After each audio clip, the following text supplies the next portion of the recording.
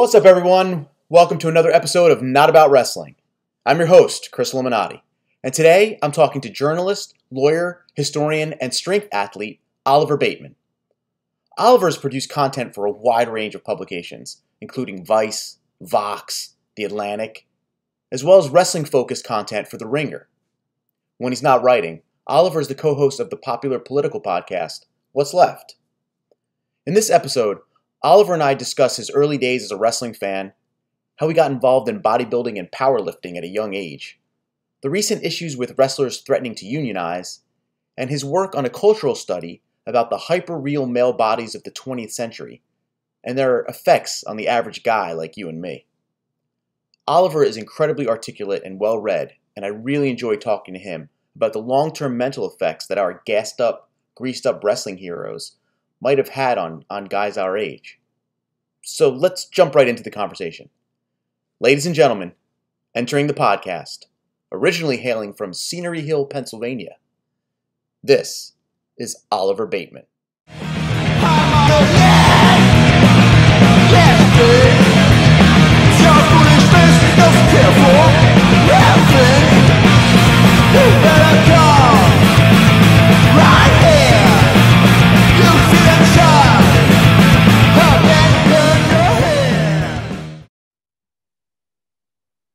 What's up, everybody? I'm here with Oliver Bateman on the Not About Wrestling podcast. Oliver, how are you, my friend? Doing all right. Doing all right. Good to be here, Chris. You know, you are my first nighttime interview.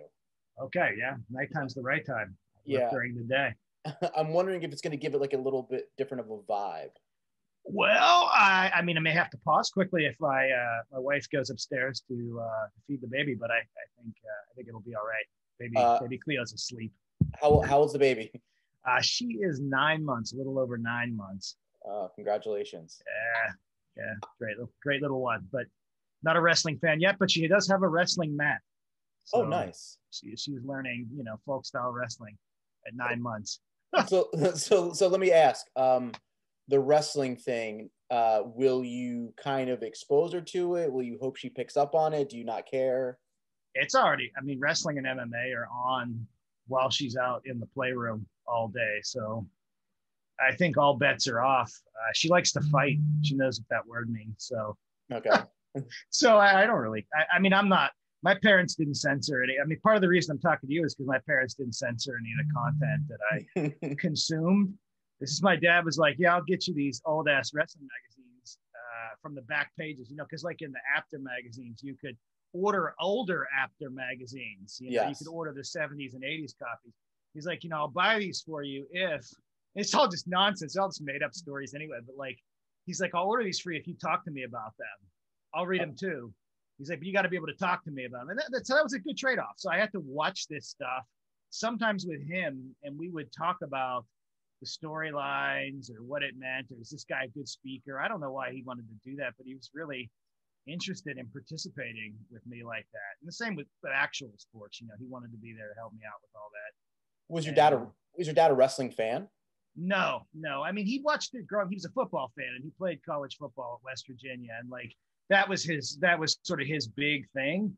But you know where he watched the local wrestling here in pittsburgh uh as everyone did at that time. Because if you've ever like talked to anybody you know who's like 50 or 60 years old they all vaguely remember when the wrestling was on their affiliate station Mhm. they're like oh yeah i remember that wrestling or oh and then they'll know the local worker like Mhm. oh yeah yeah i remember so and so you know freddie blassie real big out here in la and that's like your hook to talk to them i Mhm. learned so he had that same kind of like he knew the guys that that would be on tv uh, coming through the pittsburgh area and then he watched uh yeah, i mean he found it interesting. You, you know he, he watched with me and my brother in the 80s so we would we would you know once or twice uh, throughout the late 80s we would buy a pay-per-view. That was a hell of a process back in the day. Um, and again we would i'd have to sit there and talk to him the whole time like Did seven he- years old. He would he would watch the pay per view with you. yeah yeah. And thought it was dumb as hell. But he, he really enjoyed it at this you know what i mean? Like i think he just it was a way for him to hang out with his kids. Uh, and uh, we, did, we didn't have many other times to hang out with him uh, because he's either working or you know upset about something so it was kind of nice that that was kind of a bond. So I, you know, like my historical background and a lot of the stuff that I, I write about, like I, I just wrote a, a Tracy Smothers uh, obituary. And I remember Tracy Smothers not because of him as a worker in WCW. I remember him because my dad had just relocated us all to Eastern North Carolina, and the kids in school watched WCW wrestling instead of WWF wrestling. Mm-hmm. And so I began watching, and you know, there you had these guys in like Confederate jackets coming out. Right. Uh, being from southwestern Pennsylvania, moving to eastern North Carolina, it was really damn interesting, you know. Like, and so I remember Tracy Smothers through the lens of, I saw him, uh, and I saw Armstrong when I, when I was a kid. But it, you know what I mean? Like, I didn't think that years later I would be following them, and even when I'd see him pop up here or there, never occurred to me that that he was significant. But I remember like my first impressions of him were just like at stages in my life. And I think wrestling actually occurs to people like that. Like, oh, I remember, you know, I'm from, you know, so and so, like, uh, I'm from Florida and I remember Dusty Rhodes and Jack Brisco coming through. You know what I mean? Like that mm-hmm. type of stuff. And so I've always found that's a, it's a great way to like lead into conversations with people on top of everything else. Do you remember your first like watching wrestling memory? Like what kind of hooked you?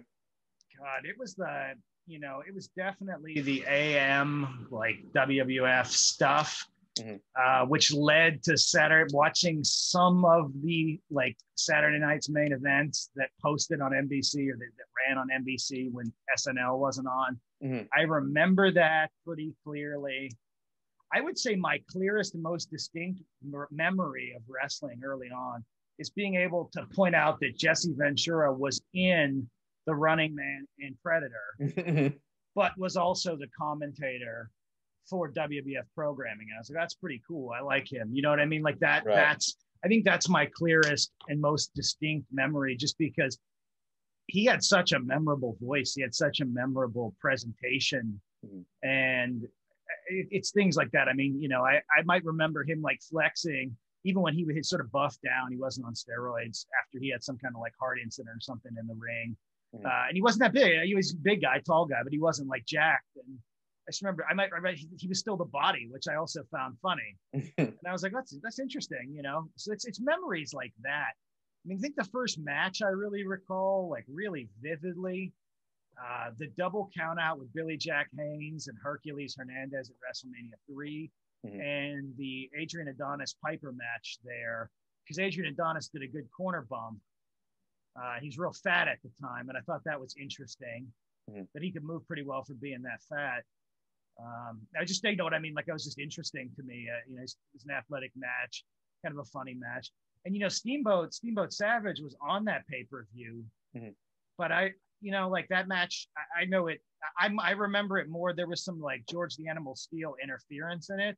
Mm-hmm. I remember that more because that guy was covered in like a pelt of hair. Mm-hmm. Right and I remember him losing, or not. I think he had a I think he had a count out at WrestleMania two or something, or he got DQ'd somehow. I definitely remember Adrian Adonis beating Uncle Elmer at WrestleMania two as mm-hmm. well, in like a really boring, bad match. But it was a great match because Uncle Elmer, Plowboy Frazier, was so big, mm-hmm. and Adrian Adonis was had really gotten heavy at that time. And for some reason, I was just like really, just really stuck in the mind. I was like, that's kind of and that, that's a lot. That's how I've, I've, thought about a lot of this, like just kind of these impressions that stick, and I mm-hmm. I think about them, you know. One of my um, biggest impressions, and uh, you know, they're. Uh, I mean, I watched before this happened, but the one thing that sticks out in my head of when wrestling really had a true effect on me, and it keeps on coming back up because with the Undertaker retiring now or retiring, whatever he's doing. Yeah. Um, do you remember when the Undertaker locked the Ultimate Warrior in the casket? Yes, yeah, that was during an uh, that was during an under un, Ultimate Warrior comeback, right? He hadn't had he left and come back, or was he was that I, at the end of his first run? I feel like that was maybe at the end of his first run because so the Undertaker debuted around ninety.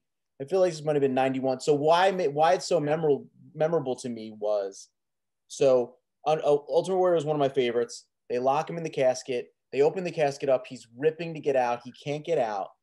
That night, I go to my very first viewing as a huh, huh. And so I'm looking at this body in the coffin. Impression. Yeah. Yeah, I, I did not sleep that night at all. Like not what I remember vividly remember watching the sun rise because I did not sleep Hmm. the entire night. And that's when I think wrestling I realized had such a profound effect on me as a kid. Yeah the images are are really like really striking and we're, we're drawn to them for for different reasons. I i remember that uh, I, there were there there was always something like like when don muraco and dino bravo had a brief feud i remember that being big just because you know my brother was a really accomplished athlete and he was a very strong kid at that time.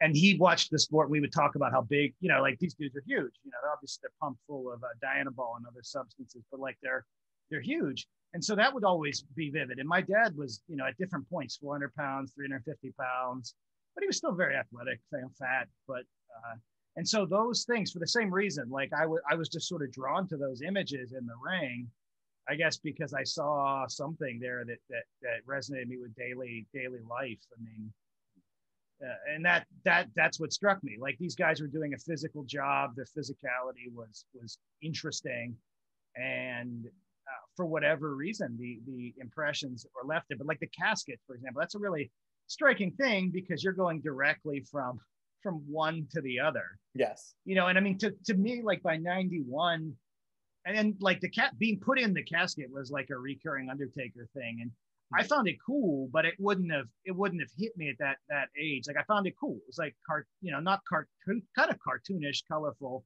Yeah. but it wouldn't it wouldn't have it wouldn't have struck me because it wasn't tied to something like that you know Yeah. I- think it's because that night I saw my first dead body. that's it yeah I, I mean yeah yeah the same day. one-to-one connection yeah yeah. And and to that day, like it's really kind of like stuck with me and I think about it often. But something you mentioned before about the bodies that I, I wanted to talk to you about, it's actually kind of a good segue. So I noticed on your website, uh, you said that you're currently working on cultural studies monograph about hyperreal male bodies of the 20th Yeah. century. Let's talk about that. What, what is that? well i mean it's it's it's something that that hopefully like the first version of this book proposal that my agent shopped around kind of died i think this was 2016 or 17 uh, I have gone on to write dozens more pieces for different publications, be it the Paris Review, the Ringer. A lot of the Ringer essays I do um, touch on this. Uh, a lot of things that I write elsewhere deal with that. And it's just sort of me like reckoning with or, or interpreting or, or trying to come to terms of trying to understand these impressions I have of these these different uh, these differently shaped, differently uh, built performers during this period. I, I think that, like, in fact, David Shoemaker at the Ringer and I have talked about.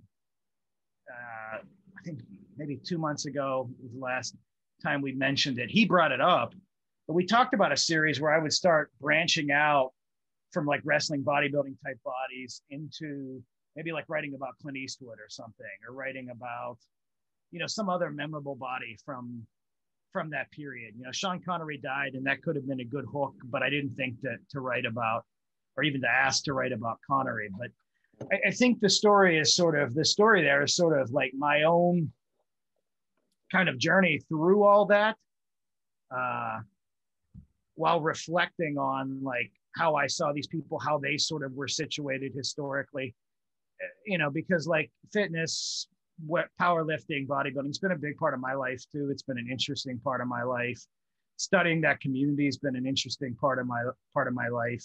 And the first go round of the book, the first proposal we shopped to different uh, publishing houses, I think was just too saturated with buzzwords. Like I, I put things in there that that I just thought people were interested in at the time toxic masculinity and stuff, you know, buzzwords that were big 2016, 2017. Right. And I, I don't think that they need to be addressed that way. Like I think that there's a way that the, the narrative can can pay it forward and pay it off without, you know, just hitting on like stuff that sounds like it's hot take or something. Mhm. So the revised version is just me doing more and better essays to build. I mean, there's 150,000 words like sitting out there Mhm. but they got to come together into something that has something that's linking it from chapter to chapter but when it's done it's going to be it's going to be good i mean this is this is the my like life's work this is my project And whether, you know, like the fitness piece of it, I've, I've done about 60, 65 articles for Dollar Shave Club's MEL Magazine. Mhm. Most there's wrestling pieces there, but most of those are bodybuilding and uh, and fit bodybuilding fitness bodies. I- I'm actually doing a piece, like finishing it up tonight, on uh, a new comic book that's coming out called uh, Beef Brothers. It's about two beefy men who uh, are kind of like sort of like leftist superheroes for the, the 21st century. And, you know, they, the writer Aubrey Sitterson is a, uh, a friend of mine. I know, Aubrey.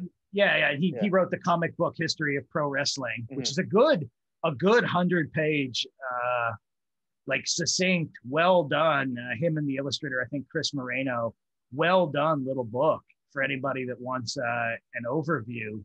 I'll give it a give it a plug. I mean, because it's it's legit.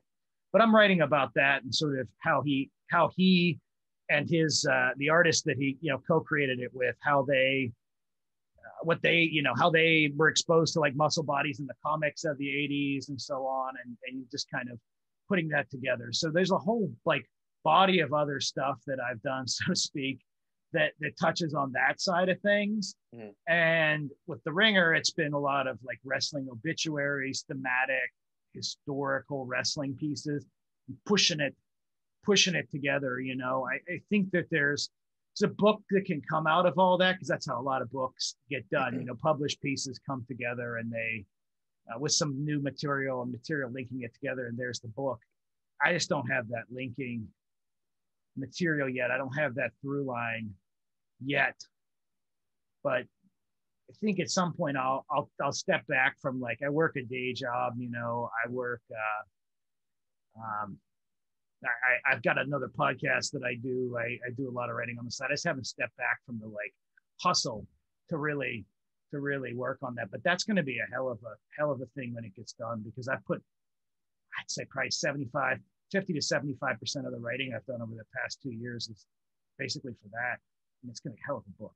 Well, well, one of the reasons I bring it up is because, and didn't this didn't dawn on me until maybe a year or two ago, that growing up, a lot of the personal issues that I have, or a lot of the way that I saw myself and my body, mm-hmm. was reflected on watching professional wrestling and the guys I saw in professional wrestling. So my kind of like golden era of wrestling is mid 80s to late 90s. And if you look at the guys that dominated at that time, Yep. you know, Ultimate Warrior, Rick Rude, these guys with these like larger than life bodies, kind of Yep. that no regular guy could really attain unless, you know, dedication. But you look at them as a kid and you're like, I got to look like that. That And of course, correct. you know, there's the influence of like, I, I got muscle and fitness. I read Men's Health. I Yeah, saw yeah. people on built, but and what what actually the the three things that kind of made it pop out were one that all my favorite performers were always the chiseled guy. Number yeah, yeah, that's what you wanted to see in the ring. right. N- number two, one of my favorite gifts as a kid was I got the Hulk Hogan workout set, which had the hand grippers and the weights and the like. I was gonna be just like the Hulkster. I was gonna look just like the Hulkster brother. Now and then, I looked at a lot of and it and until I put them all together and saw them, I saw a lot of pictures of myself as a kid, and my kind of go-to pose was flexing. And I wasn't even really there was nothing to flex. It's just me doing this because that's what all my heroes did. They went like this, they went like this. So I thought when a camera's on, this is what I had to do. I mean, there's one picture of me. I might even put it in this blog at some point Jeez. where it's like I'm sitting on my aunt's rocking chair in her room and like I'm not even trying. I'm just like like I don't even want to be in the picture, but I felt the need to do this. And yeah, yeah, yeah. Kids of the '80s really struck muscle poses. Mhm. Uh, they wore muscle shirts. They wore neon colored shirts. Some of them wore spandex. It was they wore wraparound shades. Very strange. And Mhm. and they're at like the like the actual way that they like performed in their bodies was very much. Uh, there's a ton of photos of me doing that too. You know, like a ton of photos of me, a ton of photos of my brother, all popping uh, poses that that are most likely just derived from from pro wrestling, which is deriving it from bodybuilding. You know, Right. Like, but it's not coming from bodybuilding directly, even though we did. You know, we we knew you know we knew Lee Haney, we knew vaguely what was going on in that sport, but it was filtered through pro wrestling. Pro wrestling brought in that bodybuilding style, but the guys were differently chiseled too. Like they were puffy, uh, mm-hmm. puffy chiseled a lot of them. You know, like Dino Bravo, puffy and chiseled. And if you look back at like the legs on a lot of those guys, uh, with a few exceptions, pretty. Uh, it's all upper body heavy. You yeah. know, if you go back in and like look at the legs and the trunks and, and some of these guys, it's, it's clear they're not uh, they're they're skipping leg day in a lot of yeah. cases. But the upper torsos. Now, they, again, there's a few guys that have like gigantic legs. Uh, Ted Arcidi wrote an mm-hmm. essay about him in the 80s aesthetic that's on uh, Splice today. Ted Arcidi was sort of like who I saw, and I was like, I've got to be that big, mm-hmm. you know. He's like 5'10, 350, uh-huh. benching 700 pounds or something, you know, at that time. Like a powerlifting world champ they tried to turn into a wrestler and it just didn't didn't work out. But i i i like that. I, I and you know i also wrote an essay about rick rude different set of things. Like why was rick rude hated by all of the women in the crowd? Mm-hmm. because you know rick rude would come out uh, david shoemaker has a good essay about that that too. But like why would rick rude come out and be immediately booed by everyone despite supposedly being this like object of tremendous sex appeal Mm-hmm. You know, even has his opponent on his trunk on his uh, tights half the time, uh, and they all like no one finds him attractive in in the audience. You know, he calls them mm-hmm. sweat hogs and pigs, and that's it's great stuff. Scott Steiner would do it later in his career too. You know, that was pretty funny. Mm-hmm. But why why would you know what I mean? Like all of this, all of this was odd. Like there was no other cultural niche, like like like you sort of noted. There's no other like thing where I experienced this type of culture at all. Like that, this was not what the other, like the adults did. This was not, if kids didn't watch wrestling, they weren't like this, you know? Mm. So it was very much this, this like little uh, sort of lived in world, you know, it was very strange. Mm.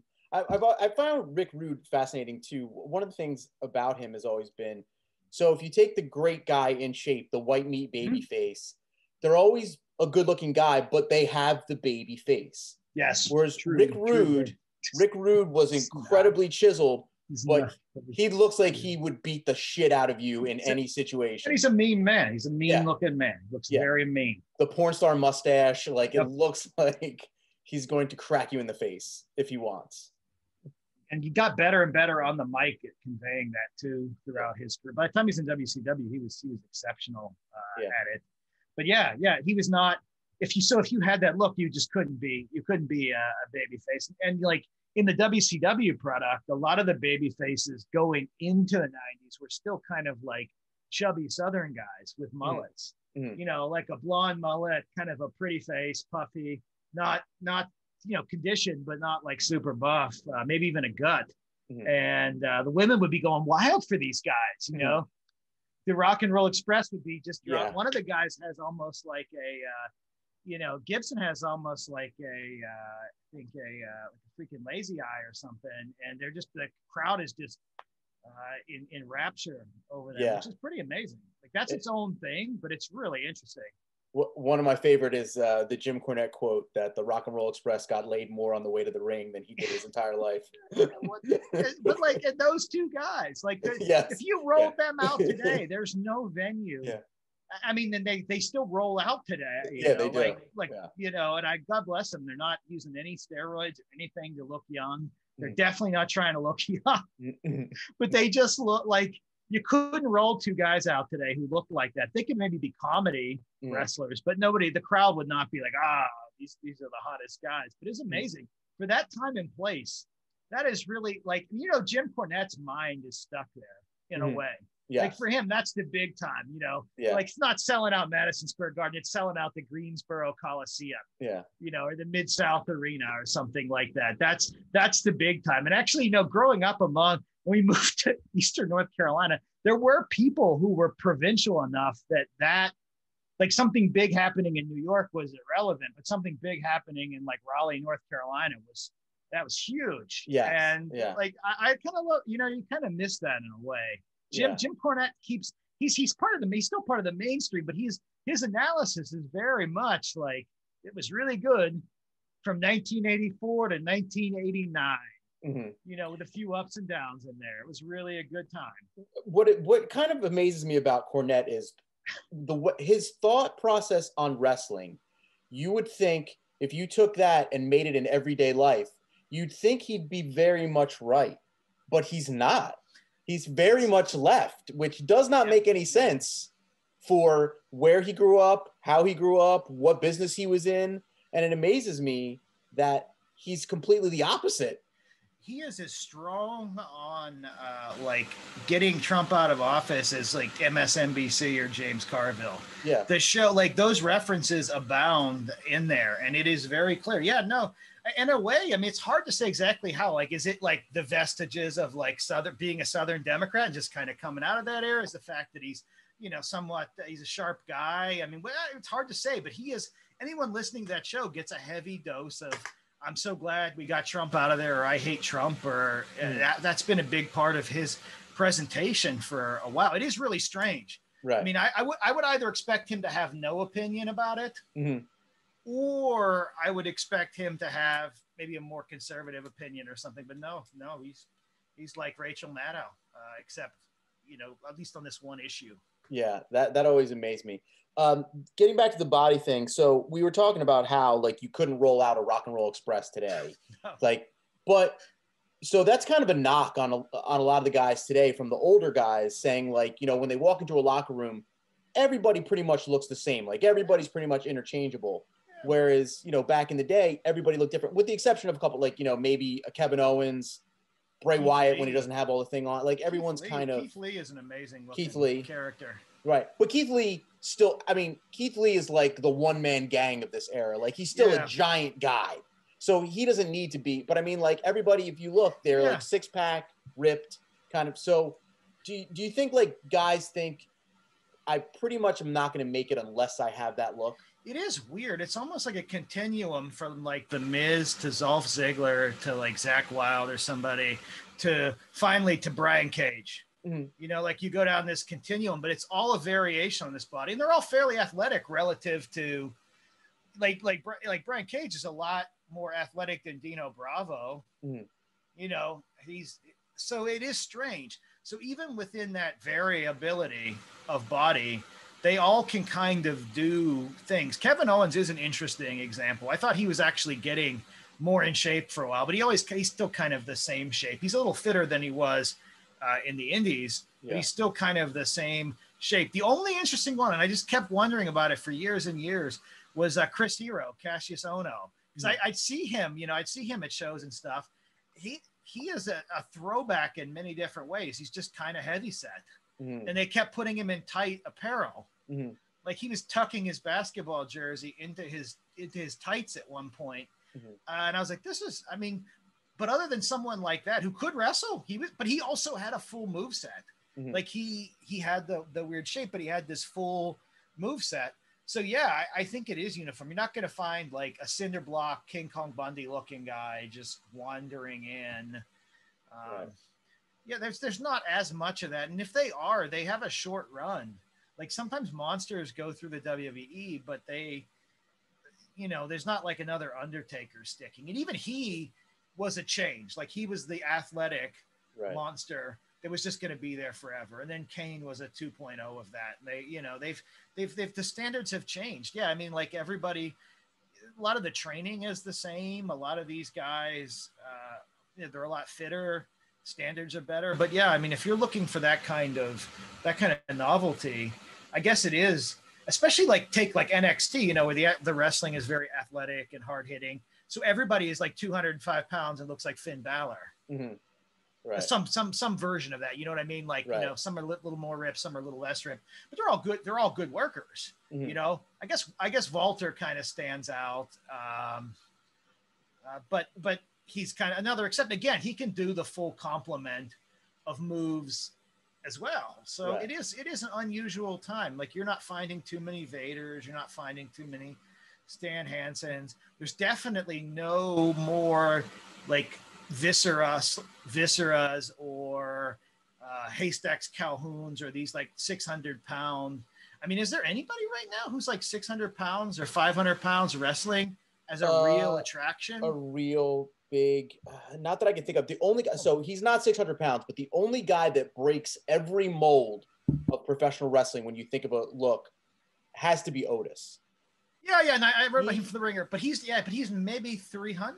No, but I mean, like he fit like He he's not definitely that is, tall. He's not that tall. He's not that jacked. He's not. I mean, he's incredibly athletic and Yeah. has like the, Yeah. the lifting background. Yeah, But like when you look at him, you don't like no, you know he's not the guy. They always say that like a lot of the professional wrestlers, if you see them walking through an airport, you look at them and go, I don't know who that guy is, but that guy is somebody. If Otis is walking through an airport, Yeah. you're going to think he works there, or you're going to think that he's just another maintenance person. He doesn't fit the WWE mold, yet he did make it. I mean, because Yeah. of his ability and his like on-camera persona.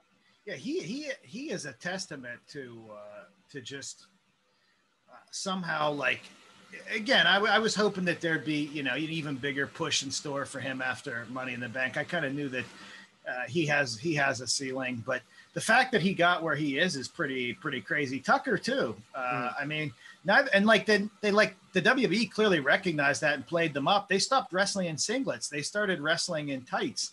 You know, Mhm. like it was like it was a, a novelty. But they but again.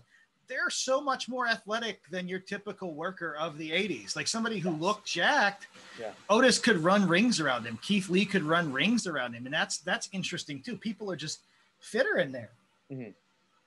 Yeah, I mean, I think a lot of the a lot of it has to do with in the 60s, 70s, and 80s when you became a professional wrestler. It was kind of like because you didn't want to be a bouncer anymore, you didn't want to be, you know, whatever you are. yeah. But now it's like, okay, all these guys with athletic backgrounds, they know as a kid, but then I want to be a wrestler. Like there's a, you know, continuation. They Yes. they're going to keep training. Like I didn't make the NFL, or I was in there for a year, but now I'm going to do this, and I'll I'll Yeah. keep training hard, and I'll train for the sport. Whereas, like you know, 60s, 70s, maybe you wash out of the NFL, but you end up in pro, like you know, you're a territorial star, and you're like, shit, I don't have to work out hard anymore. I'm Mhm. just going to make 250 bucks uh, a night or a week or whatever, depending on where I'm at in the car. And I'm going to, I'm going to work 300 days a year and just kind of drive around in a car and eat bologna and Mhm. drink beer. And that's, Yeah. that's fun. Uh, Yeah.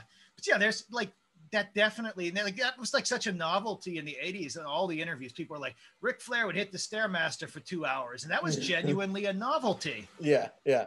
He was like really working out. But then, but, then but, then, but then you'd hear the next story where like he was drunk right before Yeah. bell time and like, all right, well, So he still wasn't perfectly conditioned. uh, you no, know he was quite. he was getting there he at least understood you had to you had to like walk up uh, steps to, to be able to put Mhm. on a 50 minute match yeah, but it got it got better and it has gotten better and better. Like the ultimate warrior looks to the like layperson much fitter than otis. Yeah. but i mean i would pick otis in a foot race. I would Oh, pick him yeah. in a wrestling match because that's his real background. I would pick him in uh, you know a lifting event. I'd pick him in almost anything. And it's just funny. Like Mhm. Because again, the Ultimate Warrior to me was like the personification of like he's perfect. You know, he's Yeah. the only man that can beat Hulk Hogan because of how muscular he is. Yeah. Nope, No. nope. But uh, it is it is really striking. Like very similar guys with a few exceptions. But even when the guys are exceptions, they can wrestle and they can have these aggressive matches. Jim Cornette is kind of neutral on whether that's like good or bad. Like a lot of spot, like a lot of sa- safe spots, but like a lot of spots, a lot of athleticism. I, I think Jim still has like a fondness for the rest hold.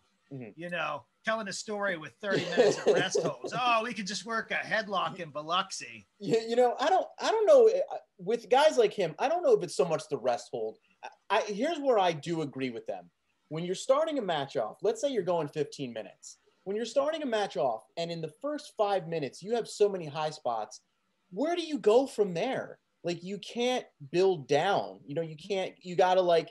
So they have to up like a couple. A lot of the things that, they, especially the AEW guys, the things they do now, and everything is now moved to like the edge of the apron, like almost on the outside. Like it just watching it, I go, oh Jesus! Like It's I'm I'm afraid to weird. watch. That's a Like- really popular type of spot that you almost Yeah. it feels ob- it feels obligatory. Yeah, you but you have the whole ring. Like where are you going? Yeah, Like, I wouldn't- do, this in the ring. I'd want to keep it towards the center of the ring, you know, Yeah. like like I mean, you know what I mean? Like you Yeah. don't want them to crawl out of the ring, and if you're a good wrestler, you take them down. You know, they stay. You want them in the center. Yeah, You don't. You don't want them to crawl up the ropes I, like they crawl. Like, but and like the apron makes no sense. Yeah. That is true. I mean, for some of the like expected spots, there isn't a logical way to get to them. Like Ricochet, Right. great wrestler. Mhm. There isn't a logical way to segue into a lot of what Ricochet does, but it's Uh-huh. incredible. Mhm. You, you know, like Yeah. you, you- but he doesn't. Does it tell a story? And I know that's a big point for them. Probably not. But it does feel like it's required. Like you're going through training at the performance center, and they're like, "Well, we got to have apron power bombs. We got to have, you know, uh, we got to have bunches of. You got you got to be springboarding the ropes constantly. All of this sort of stuff. You know, like that. That to me is. I guess the fans want it. I mean, I guess somebody somewhere and this is what some a friend of mine that that that writes about like wrestling and theater was like the fans have just come to accept that this stuff is part of the theatrical performance of wrestling now. Mhm. So you give it to them regardless of whether it serves a story purpose, you know? Like the fans like, well, it's this guy, he always does this move.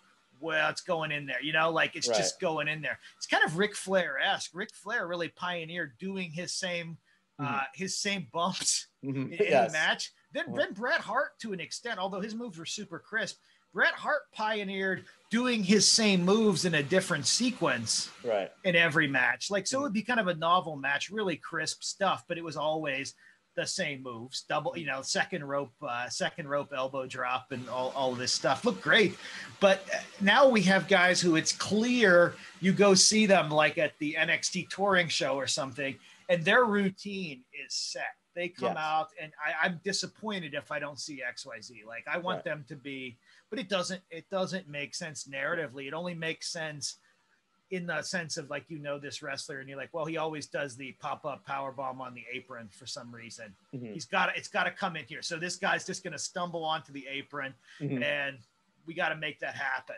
Yeah, I think a lot of it is the uh, idea like you know when you go see your favorite band and they don't play the hits. Yeah, Yeah. So if you don't go see, that. wrestlers are like, if I go see a guy and he doesn't play my hits, I'm gonna be pissed. And guys realize that, and women realize that that people are coming out to see them, and if they don't see the things they want to see, it's like, oh, he had a terrible match because you didn't do the spots Yeah. that you wanted. You know. Yeah. So yeah, I don't. I only want to see like with the old wrestlers. It's very clear. Like, oh, you know, they brought Bob Backlund in at some indie show that I, I saw here in Pittsburgh, and he didn't do any moves. He stood on his head, which was kind of cool, and he put somebody in the the crossface, uh, and I wanted to see that. So I was like, okay, check.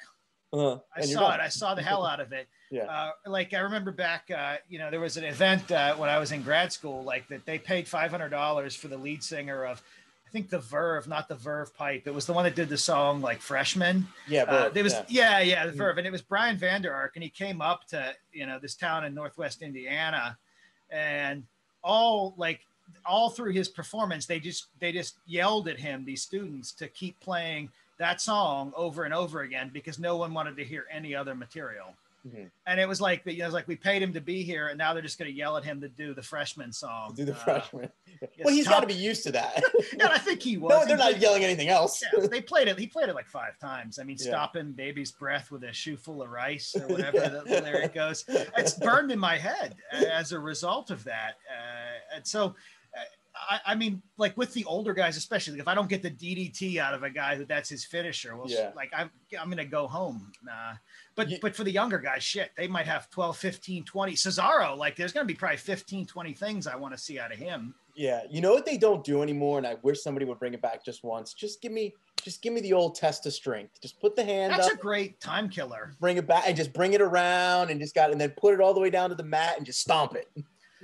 I mean, like Jesse Ventura tells a story about how like he improved as a performer because Verne Gagne had basically spent 10 minutes booking the show and he's like, okay, Bruiser's going over, I'm going over, uh, you know, uh, my son's going over, and Ventura, you're going to be in the opening thing. You got to kill 30 minutes with an arm wrestling match, some mic work, and then the match. And you know, Ventura couldn't go 10 minutes, uh, Mhm. but he could fill the like the arm wrestling match could give you 15 minutes. The talking could give you 10 or 15 minutes. And then you could do a test of strength in the ring or a bear hug, Mhm. and that would kill another five or 10. And then you would get disqualified. Mhm. And that was the whole thing. So like that, that to me is a great use of time. I don't, I don't, it's not as popular. I haven't seen a bench press contest uh, in wrestling in a long time. yeah. Last one I remember is Ryback uh, and Mark Henry, who were doing like bench press reps 225 to simulate the NFL combine. Uh-huh. Uh, and, and, you know, it ended in a fist fight or something like that, like they're supposed to. But uh, before that, I don't remember too many more. Uh, I think that like Scott Steiner and Triple H were supposed to have one when they were feuding, and Triple H cut a great promo about how wrestling wasn't about posing or bench presses or any of these things. But looking back on it, I'm like, no, no, it really was. yes. I, I, wrote an article about like how the pose that for MEL Magazine about how like the pose down when Bobby Lashley started posing again mm-hmm. when he had uh, Rush as his hype man. Yeah, I was like, oh, they're bringing the posing back, but bring the bench press contest back too. Bring the test of strength back because yeah. that does kill airtime in a way that you know, I'd rather watch that than like, you know, like a romantic angle. I'd rather watch 40 minutes yes. of because yeah. that that to me is at least something that might happen in a real sport. You know, mm-hmm. who's stronger? You know, was a, a, segment just like that that killed a ton of time because I recently watched just it. Killed the, the, the Dino Bravo bench press with Jesse Ventura spotting him. Yeah, yeah, like fingers. I mean, they, yeah. they went up in five minute increments. It was a good twenty minute segment. that's how that's that's the one everybody remembers, and that was sort of the that was sort of the combination and the culmination of all the great bench press contests going into this just nonsensical thing like the form's bad, the weight's gimmick, uh-huh. Ventura uh-huh. over spots. It's perfect. Yeah. Everything about it is perfect. Dino Bravo is doing a world's strongest man gimmick for some reason, despite yeah. many other wrestlers being larger than him, including Hulk Hogan by a, a good deal, and, and, and, the Warrior and everybody else. Um, it's heat. One, That's why it's heat. The one thing I will say, and I did not realize about Dino Bravo till my, my friend Ian Douglas, who, who does a lot of these uh, wrestling autobiographies, like he co-authors them. Mm-hmm. Uh, he told me he was like, go in and watch Dino Bravo wrestling jobbers on YouTube because Dino Bravo would make a point of using other people's finishers while he just hurled the jobbers around the ring. Wow. So he not only treated them like mm-hmm. garbage, he would do three or four other people's finishers in the midst of brutalizing them to just ruin the move because you know he was a kind of a jerk. And that was like you know like french canadian like they have a real rough sense of humor. So he just yeah. he just loved to do it. You wouldn't find work today if you did that. No. If, if a guy did that today like he'd be quartered out so hard. It's like, a great it's a going no, because you and you wouldn't abuse jobbers like that today either. Like right. it's it's just a sign of how like unimportant the enhancement matches were that mm. he could come out and do that. And I'm sure he was probably going back and like high fiving with Pat Patterson after just you know tearing up some guy getting 50 bucks mm-hmm. uh, to just lay down. Uh, and that that that you don't get that today. That's an interesting regional uh, variation. There are a couple of guys who are notable for just obliterating jobbers. The Road Warriors did it as part of their gimmick. Mm-hmm. Scott and Rick Steiner mm-hmm. are on a bunch of lists as just jobber abusers, enhancement talent abusers. They have some great stuff on YouTube of just dropping guys on their heads. There, there's that one where that one guy went into business for himself. I think it was against the skyscrapers. Yeah, that's a great. Oh, I think Cornette God. narrates that. Cornette yeah. narrates that. Anybody has to watch that should watch that. It's amazing. Yeah, yeah, that guy, just, sold just... nothing, sold nothing. Like even the finish, he got up like there was a three and he like popped up and they just started beating the yeah. shit out of him. and it like, wasn't clear if he, he knew or if because he was just he was just absorbing a beating yeah. there at the end. Yeah. That that whole series that Cornette narrated uh-huh. uh, with all the jobbers who are like screwing up somehow, like guys who were overselling. There's one he narrates where I think it's against like Rip Hawk or something mm-hmm. like that, where the jobber is like exaggeratedly falling down like a wet noodle to everything that Rip Hawk does. Taps him and the guy like shakes and falls to the ground. I haven't seen that one. I gotta find he that. Falls back many, many feet. Uh, it's like what it's like what Shawn Michaels did to Hulk Hogan in that match, but but even worse. Yeah. Uh, but you so can you can watch that now with some appreciation. Yeah, that match. I, you can watch any of this stuff now and appreciate it either because it's not going to happen again or just because it happened at all. You're like, wow, that's that's really something. Yeah. Uh, all the enhancement guys who have become immortalized for, for either getting just obliterated or being terrible. yeah. You know, they're in the memory, they're in the record books, you know. Mm. So yeah. I, I I I love it. Yeah. But uh, before I let you go, one thing I wanted to uh, talk about, touch on, because I feel like with your background, you could lend a lot to this subject. The entire like union uh Zelina Vega thing with, you know, not being able third party stuff, like how do you? It's. I feel like there's going to be a fight. Like this could go not the a- WWE's way. I did a big analysis of it on my my own podcast, What's Left. Uh, That's it's behind the paywall, so I'll summarize. Because I was talking to Jonathan Snowden and yeah, just kind of back and forth on Twitter and a few other folks. Because you know, whenever somebody talks union, it gets real. Ex- people get real excited. They want to do a whole bunch of stories. Um, I have always, other than a thing I did uh, in Al Jazeera back in 2014 that wasn't really about unionization, I've always steered clear of it just because I number one, I can't think of a harder industry to unionize. Mhm. Like partly because it's hard to identify who the pool of workers are, partly it's because there ultimately are so few workers.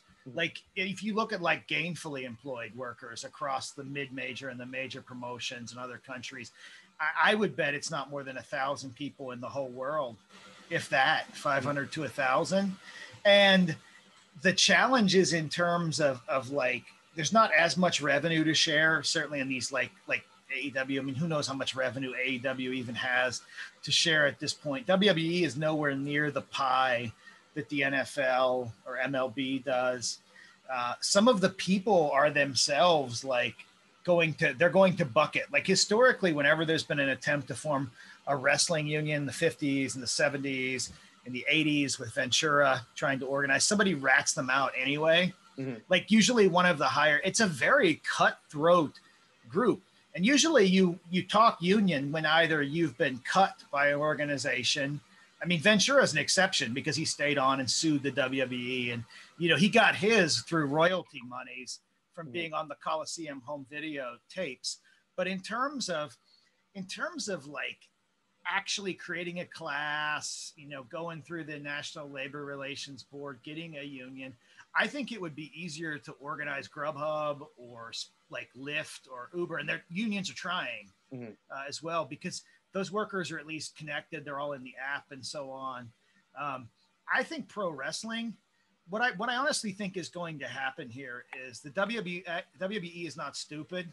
Mhm. I, I think that it is going to find a way to share revenue on the streams and other third party things that people do. Mhm.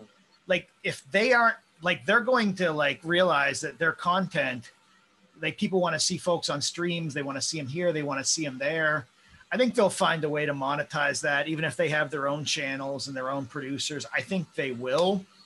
Uh, but i know that they are there's no organization. I mean their their law firm is is right here in uh, in pittsburgh. I think they're k&l gates uh, uh, k&l gates they're, uh, that's uh, is one of their is their firm. They're one of gates uh, gates's that's bill gates's dad's firm uh, they're one of like the main, not a main client, but they're an important client that they have. And I- I think there was some aggressive stuff. Even uh, there was talk even of the WWE talking about gaining ownership of people's real names after they leave the promotion. Like, is there some like implied trademark in a person's real name if it's close enough to their trademark name? Some type of argument like that.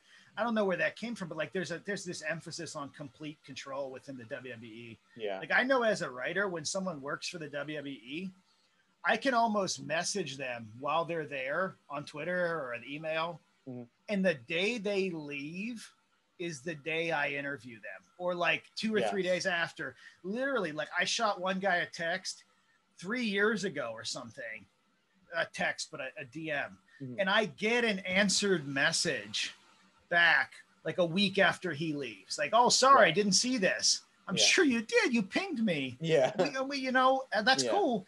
Uh, and then there was another time, like I, I yeah, I did a thing with uh, Austin Aries from MEL uh, at one point, but it was literally like the week he had been cut Mhm. uh, or had left uh, WWE, and he talked a lot about like the wear and tear on his body and stuff, and it was it was an interesting little story. Um, but I this I, I just don't see how those guys get out from under complete control, and I feel like if things are going well for them, Mhm. those players are not going to shake the uh, they're not going to shake the wagon. You know, they're not gonna they're not going to rock the boat. It's just a really hard thing to, to you know. People were excited about AEW possibly doing more that way. Mhm. But I, I think the fact that they haven't speaks more to the fact that it would be incredibly hard to do within the sport. within the structure of the sport.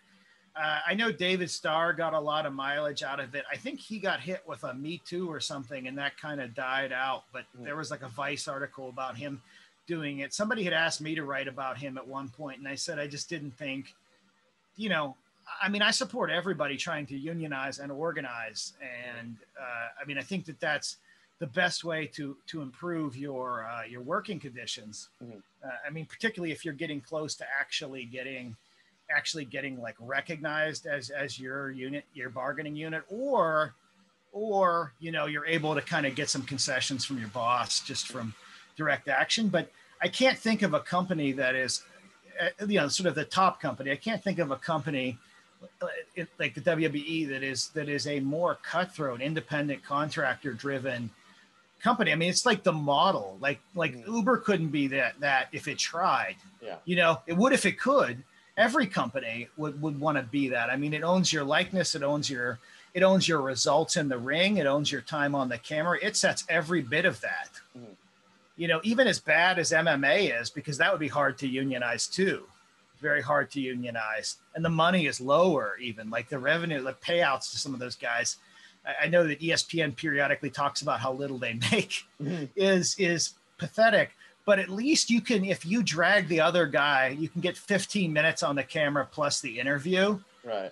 you know or like a bunch of replays if you knock him out in 30 seconds Mhm. whereas in the WWE you hit the time points they want Mhm. in the amount like in the time they give you Yeah. you do what they they do your your character i mean might be you but it's shaped by writers it's shaped by teams uh, it- it is such a strange environment i mean jesse ventura is right when he's like these definitely are workers i mean no company exercises more control over the conditions of employment Mhm. than the wwe it's just for what you know i mean mcmahon's genius was that he sort of got this sport this sport that's almost like it was already kind of built to be as labor unfriendly as it gets Mhm. you know spread out I, I mean it's about the most like union unfriendly this thing this side of of selling drugs or something something that's not part of a, a market Mhm. not part of the like above ground economy Mhm.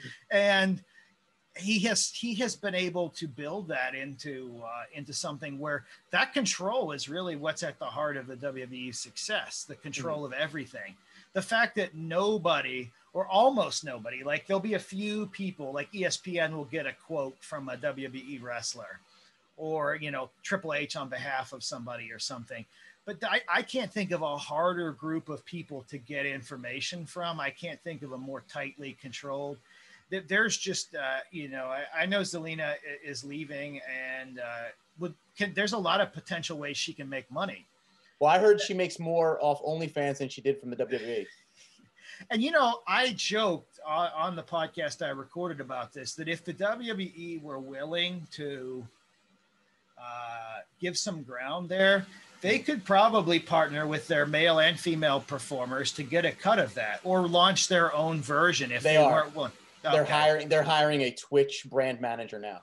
Yeah, so that's what's going, and that Yeah. Twitch is going to go down like that. But I'm talking OnlyFans. Like if they launch That's their the- yeah. only, that I bet that's. I wouldn't. I don't want to say for sure, but I bet something like that, maybe a little more PG, Mhm. is being considered. Because if you go and look at like, Well, like she was PG. Her stuff was PG. Her her stuff was cosplay. Yeah. they can they can do that. Like they, Yeah. I'm sure that's going to be in the. I'm sure that's going to be in the works because you can go to a standard Instagram like uh, like Lana, for example, Mhm. and that's like that's basically like PG 13. Yeah. right there and she's able to operate that and to me that's that's that's the future of like WWE's got to have a, a vehicle for delivering that male and female you know Right. like like the nice body content um, I'm sure that it's I'm sure that it's being debated and they because they they're still trying to be family friendly at this. They're trying to do a lot of different things like Yeah. athletic moves. Some fans want blood. WWE is sort of holding the line more on that than AEW.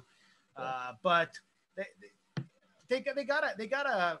I mean, with, with once that's done, the like the like the union concerns of, of Zelina Vega, those folks will get their cut, Mhm. and because there aren't many of them, because they're like they're nobody is really like if my boss were as all powerful over my life I would not be able to be on this pod. I would quit my job. Like I wouldn't be able Yeah. to be on your podcast. I wouldn't be able to write a tweet Right. without.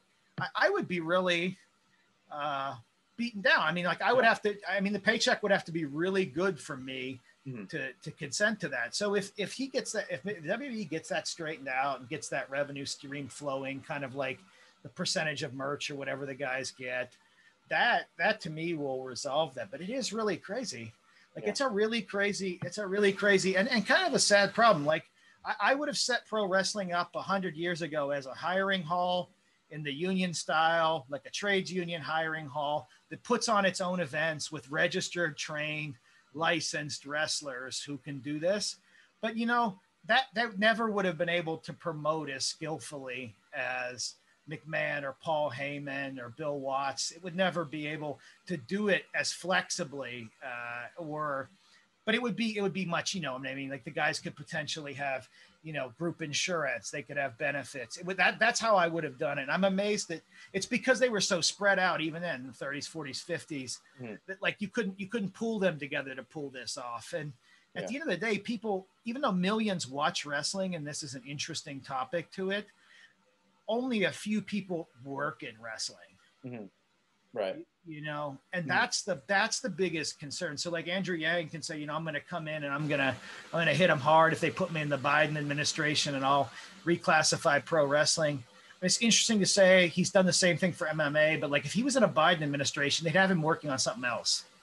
Yeah. you know what i mean? Like he if he's going to be secretary of labor there's bigger fish to fry and they would they would move on. Like that's not going to be and that's that's sort of the beauty of what vince mcmahon does. It's even as the most powerful promoter, he's important enough to have a wife that was like a near cabinet official, Mhm. but he's also utterly unimportant, you know? Yeah. Except for if he gets busted. Uh, I mean, he's already gotten through most of his scandals. So kind of like like Trump before he got elected, McMahon has gone through most of his crazy scandals. So Yeah. kind of in the clear on that. But it's an interesting thing. I mean, I think I, I, I would love to see like wrestler driven. I thought that's what AEW was going to be, but it's a corporate it's a corporate model too, and Mhm. that they're that, that's how they have to do it because of where the how they how they pay the bills basically. So yeah, Yeah. Well, we could talk about it all night, but before I before I let you go, I mean, I would love to talk about it all night, but you've got a baby to no, put yeah, we both. Uh, I think you, yeah, you got a yeah, you got a cat that looks like it's kind of like waiting for something to do. It's a couple of them, yeah. Oh, yeah I have one too. He was just I, up see- on I saw him. I saw him. Yeah, her. no, it's a him. It's a him. Well, technically, okay, it's kind of a her because he had uh, his penis Yeah. taken off because Yeah. of the surgery. Oh So, Jesus. yeah, yeah, it's a really crazy thing. So yeah. Yeah. They can be whatever they want to be. Yeah, I don't want to talk about cat surgeries. It costs a couple No. thousand dollars. It's a long story.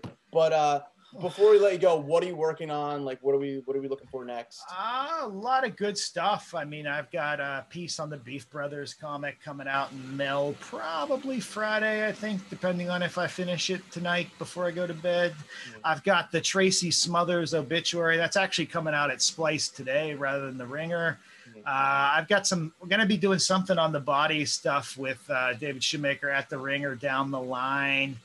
Um, everybody, I encourage everybody to check out the What's Left podcast because we're going to have uh, guests on. I mean, guests are on related to all kinds of things. It's mainly like a labor and politics uh, type site, but we're you know we we're going to have an MMA fighter on. I'm going to talk to him about the work of of MMA. I'm going to have a pro wrestling trainer on, talk to him about that. So that's ongoing too, and you know probably every week. I if you follow me on Twitter at Mustache Club US, I have a couple things coming out that that that you know fans of this stuff would would like. So appreciate you having me here, Chris. Awesome, Oliver. Thanks so much, man.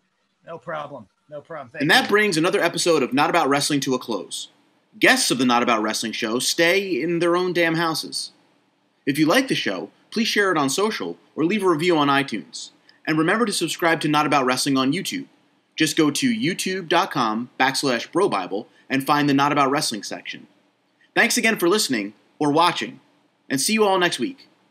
Well, I won't, I won't see you at all. You know what I mean.